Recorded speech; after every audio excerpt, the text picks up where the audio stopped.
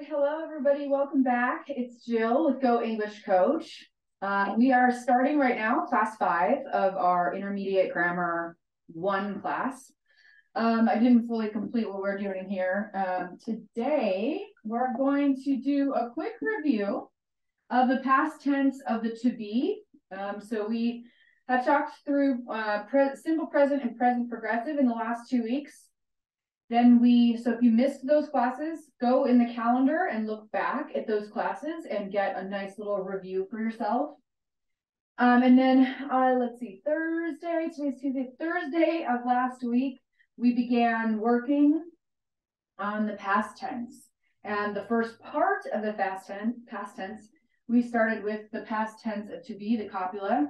Um, and so that's where we are today. We're going to review that I also gave you guys in our class on Thursday um, a list of the past tense, irregular past tense verbs in English. And remember, there are a lot of them. So um, practicing and studying those would be really helpful. We're going to go over that a little bit today. Um, let's see. So we're going to look at the ED and irregular endings uh, for past tense. All right. Um, and remember, these classes are always open to people joining uh, live. So right now we've got people mostly just watching. Um, maybe the schedule we need to kind of adjust. You know, if there is a better time, I would love for you guys to let me know that. Um, I because I, you know, I, I'm happy to teach like this. Uh, my microphone while we're chatting. That'll help the audio um, I'm happy to teach um, classes like this, but it is so much more effective if there are um, students in the class. So let's get started. Okay, so let's review this past tense of to be. Um, fairly easy, right? You really only have the two um, forms that you need to be concerned about. You've got was and were, right? I was, you were, she was, we were, and they were. Okay, so um super easy on that. Um keeping in mind, of course, the spelling for this were. So practicing that, lots of people make a mistake with that. So I don't want that to happen to you. Okay. And then using um the past tense uh, was using wasn't and weren't. Wasn't and weren't. Okay, so they weren't tired. That's the shortened, um, contracted version of were not. Okay, they weren't tired. Okay, now um, when we go to use the yes no questions version for the past tense of to be, we have a switch, right? So in the in the affirm in the statement form, okay, we've got I was. So the subject plus the form of the verb to be. I was, okay? In the question form, we switch the order there. So we now have was I tired? It's a question. Was I tired? Kind of a strange question because you don't normally ask yourself a question, but it's just a good way to practice that. And then again, we switch the subject so that to be is first position, the first word. Were you tired? Were you tired? Were you tired? Okay. And then the answers to those questions was no, I wasn't. Yes, you were. Okay. Yes, you were. Um, great. So what I would like to do now is let's do a little exercise with using the the um the past tense here in the the to be form. Okay, so we're going to move over here to the computer and have you guys sit down with me here. Hopefully everybody has um, paper and pen so that you can work on these things together. Even if you're, you know, doing this um, on your own, um, you know, studying is is part of the journey is that the the learner has the work right the teacher has work but the students have work too um so let's just switch this over here Okay, so let's take a look at this activity here. Um, we've got a chart of famous writers. This is an activity in our Focus on Grammar book. Um, and it says to complete the sentences with was, wasn't, were, and weren't. Okay. So we're looking at these names Isaac Babel. It looks like he was born 1894 and died in 1941. Simone de Beauvoir, 1908. Okay, you get the idea. So these are people.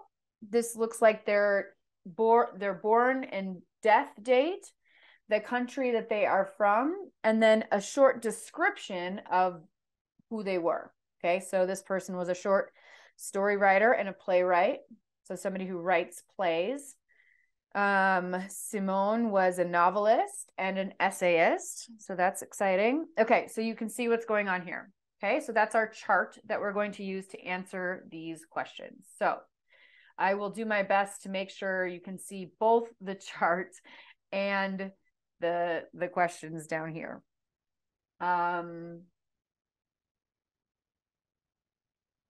okay, so so here's an example. Simone de Beauvoir wasn't a French poet. So you look for this person's name. He is from France, but he was not a poet. Okay, so we're going to say that. So this is correct. He wasn't a French poet. She was a French novelist. Okay, so you can see that we're choosing which form of was, wasn't, were, and weren't. Okay. Okay, let's continue on. So we've got Wang Wei. This person um, was born in 699. Um, born in 699. So we're using was. Okay. Let's scoot down here. Hopefully you can see enough here. Um, number three, we've got Lucy M. Montgomery and Lorraine Hansberry. So there's two people. Um, and there's one line, South American writers. So let's look at those. So we've got Lucy Montgomery. She's from Canada. So she's not South American. And then Lorraine Hansberry is from the United States. So we're going to say, we're going to use the negative form. So looking back up here, it's either wasn't or weren't because it's a not it's not a true statement if it's positive. Um, and the other thing is that there are two of them, so we need to use they. So they, Lucy Montgomery and Lorraine Hansberry, weren't. Okay, and so just one thing to note here is when you've got this is the subject. So the subject can be a phrase, it can be a collection of things, but the subject here is two people. Okay, so Lucy M. Montgomery and Lorraine Hansberry weren't South American writers. Okay, so the subject is not always just one thing. Okay. Great. So the next follow up statement is they blank North American writers. This is positive because the United States is in North America and Canada is in North America. So we're going to say they were. Okay.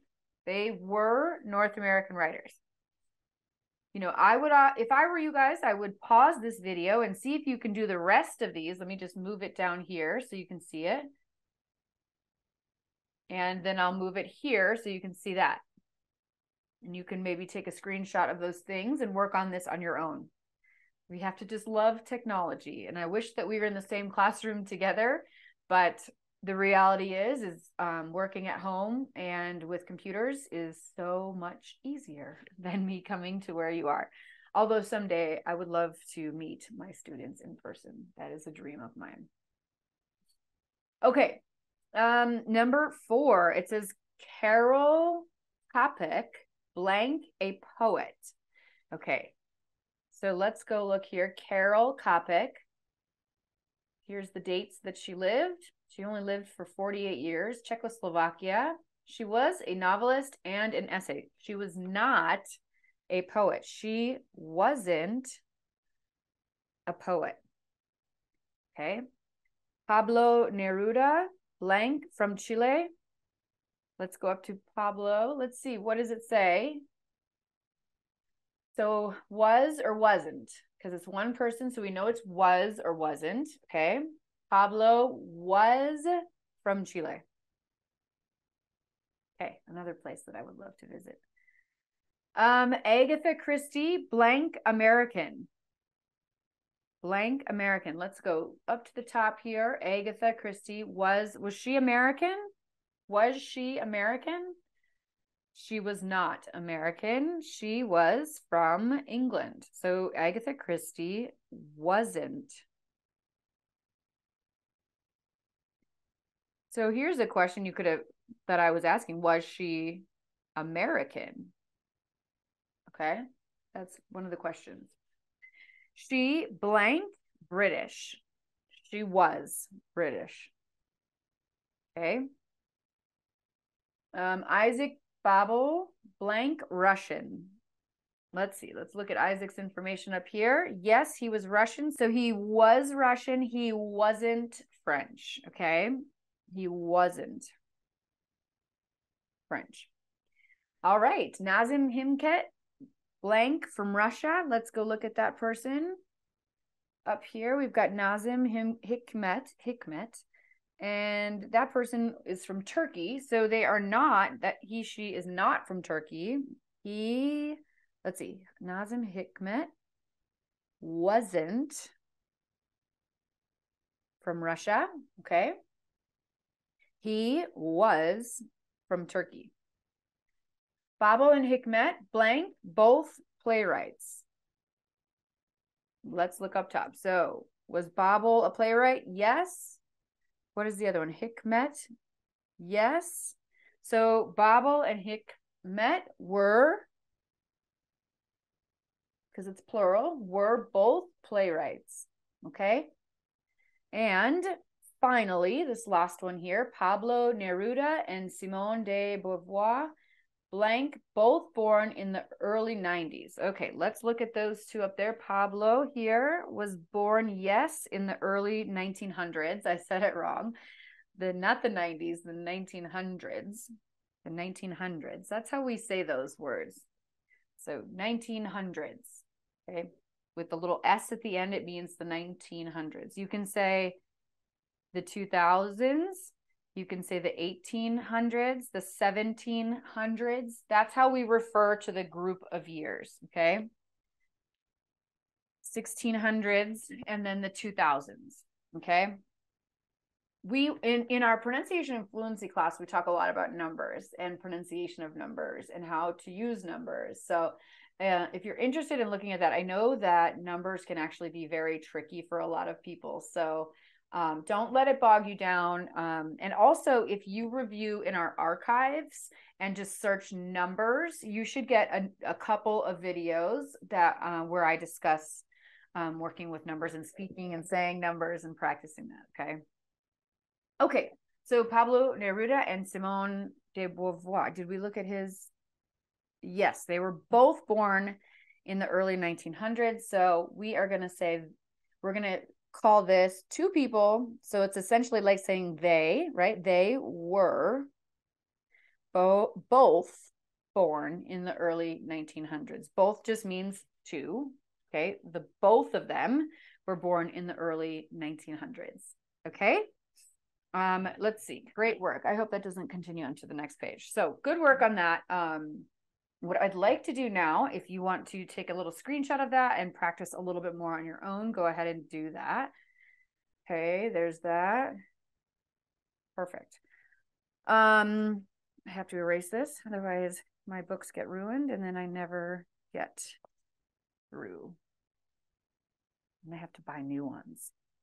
Um, you know, this would be great if people were buying these books at home. I do not um I don't get a I don't get paid by this company. Um, but I'm a huge, as a teacher, of course, I'm a huge fan of books and studying. And, you know, there are a lot of online options for teaching, but, um, you know, realistically, what needs to happen for somebody to actually learn a language for, you know, if you, if you under, a, a person who is learning let's say their first language okay if if you're saying you know you're maybe you have a child who's one or two years old and they're learning their first language um they are getting um, tons of input, right? And and they don't learn it alone, right? Where do they learn the language from? They learn it from their parents and the people around them. They recognize that they must learn to communicate in order to be a part of the family unit or whoever they live with. And so, um, you know, there's a lot of studies on, you know, um, language acquisition, first language acquisition, and then comparing it to your second language or your third or your fourth. Um, and realistically, it, it's it's a it's a different process, of course, because you when you're learning your second or your third language, you're filtering it through your first language.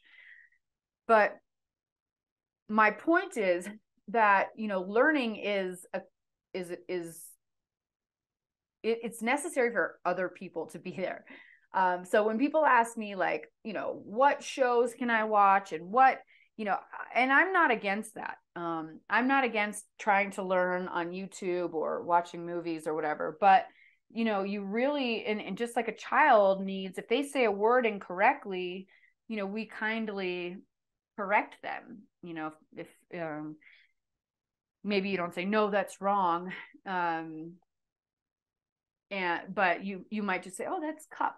We say cup you know if i'm thinking about my coffee cup here right? So if you're if they are saying coop uh, you're going to say oh the cup oh the cup and then they think oh i said that wrong right? So it's it's this beautiful process um, and my point that i'm trying to make is that really um, language learning is best done with people okay with a teacher and with students of you know colleagues and friends that's the best way to learn it. It's it, as with anything think about it. If you want to go to the gym or you want to learn how to you know run a marathon it's like the best way to do that is when you're with people. Why? Because it's more motivational right? It's more fun. Um i you know lots of people do things all on their own and that's fine but um I specifically with learning how to um, speak another language, um, interaction with people, feedback from teachers and professionals is key. Okay.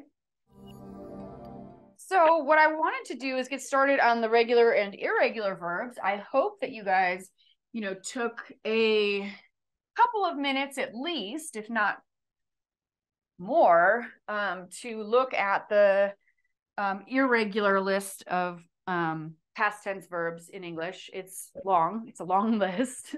um, on my book, it was like a page and then a half of a next page. So let's start with the regulars. So we take a simple verb like uh, move or um, travel.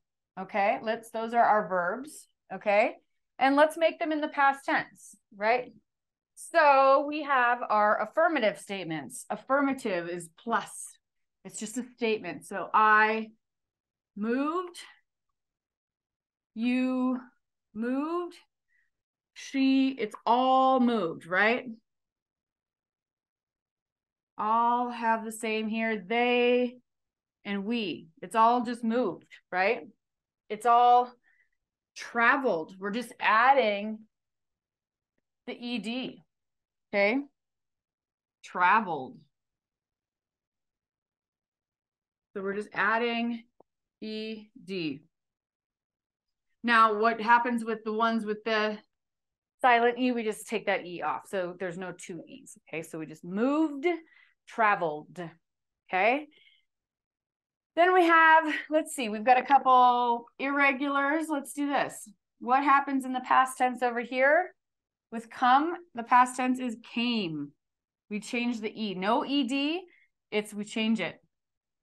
Okay. And leave is now left. Okay. So if you are confused about those, that's just because it's an irregular form. And we have to just get used to which ones are irregular and which ones are not. And there's a lot of them. Okay. So that's our simple affirmative. Now, when we go to change this to the negative, let's take a look at what happens, okay? Let's stay using these, these uh, verbs here. So we'll use move, travel, come, and leave. Let's see, move, travel, come, and leave. This is the present tense form. Okay, let's change those to negative. Nope, not positive, negative. Oh my goodness, I'm tired today, you guys. I moved, and if we're going to make it negative, we're going to say I didn't move. Okay? You didn't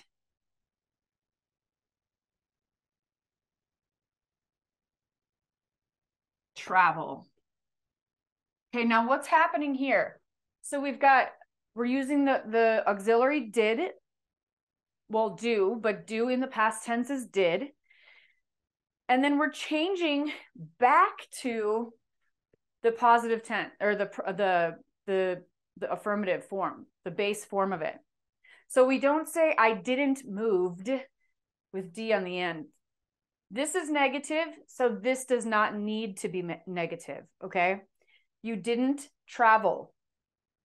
So we go back to the original form. Um, she didn't come. Okay? They didn't leave. Okay? This can be tricky for people often because you're having to change it. So in the past tense, it's left in the affirmative, but in the negative, you go back to the original form, but you're using this did not or didn't. Okay, you can also say did not. That's totally okay. It's totally normal. Either one is completely grammatically correct. Okay. Um, so let's see. She didn't come, they didn't leave. Okay. Now, hopefully that's easy for all of you. All right, let's look at questions. Okay, what happens with questions in the yes no? We always do this part, okay? So, um did you move? This is in the past. Last year. Okay, so what happened? We take, you have the do auxiliary, the subject, and your main verb. Okay, do plus subject plus main verb. That's what that stands for. Okay, one. Let's look at another one. Did um did you come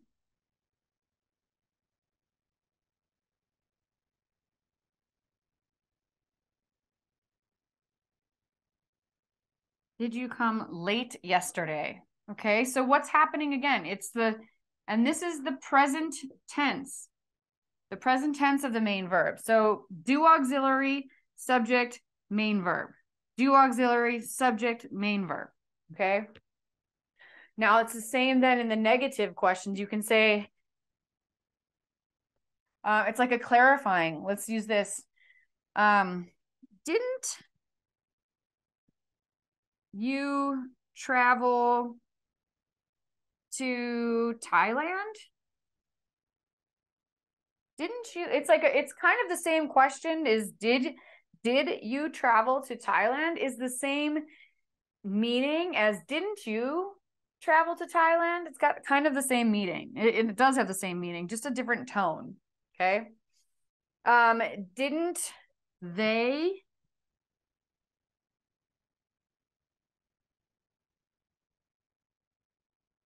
leave for California? Didn't they leave for California? Like you're kind of confused, so you're clarifying. Or maybe somebody said something wrong and you're kind of correcting them. Didn't they leave?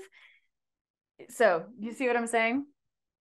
Okay. So those are the yes no questions. And then the answers for those did you move last year?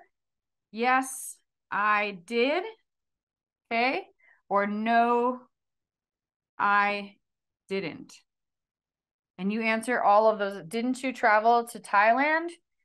No, I didn't. Okay, it's the same two.